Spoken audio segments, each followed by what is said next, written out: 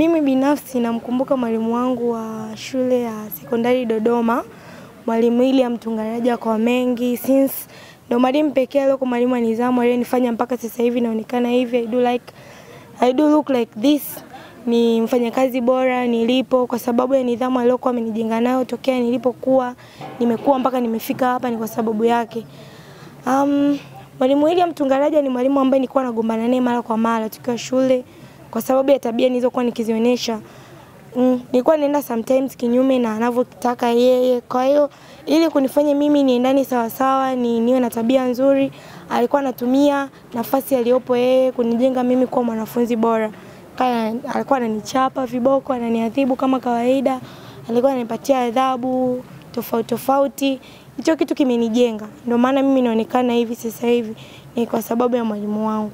Mimi kwa majina naitwa Juliet Samuel. Katika siku hii ya kusherehekea siku ya walimu, napenda kumkumbuka mwalimu wangu Mr. Shedrack wa chuo cha CBE Dodoma kwa jinsi ambavyo alikuwa ananifanya kama mdogo wake, ananisapoti, ananisaidia, nikifeli ananipush, kwa nini unafanya hiki na hiki na hiki, kwa nini unafeli, aidha ni company au ni nini kinakusababishia mpaka una, una nini, kwa sababu aliamini kwamba nina kitu ambacho ninacho ndani yangu ambacho nikikiendeleza kitanifikisha sehemu fulani. Namshukuru Mungu sana kwa ajili yake kwa sababu amenisaidia sana mpaka hapa nilipo, sehemu nilipo, nimekuwa mfanyakazi bora kwa mwaka huu.